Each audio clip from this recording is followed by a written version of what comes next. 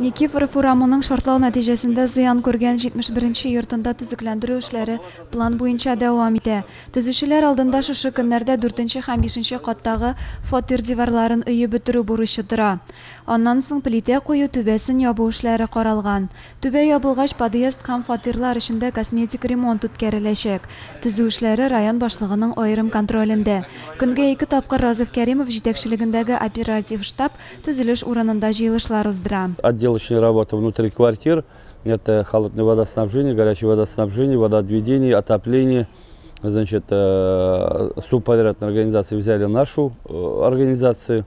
Сегодня э, приступает вот этим делам, коммуникационным вопросам. Төзү материаллары кирпич һәм плита Әлмәт һәм Чаллы шәһәрләреннән махсус заказ белән кайтарылган. Такого кирпича уже не делают. Такая кладка на лепестке, так называемая кладка, это специальная. И кладку надо, специалисты нужны, чтобы эту кладку могли делать.